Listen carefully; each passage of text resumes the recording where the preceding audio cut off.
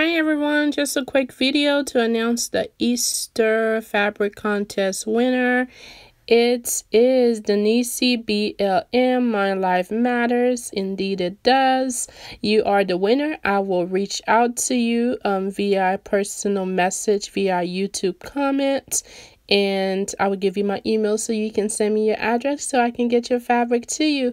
Congratulations. Have a good Sunday. Bye.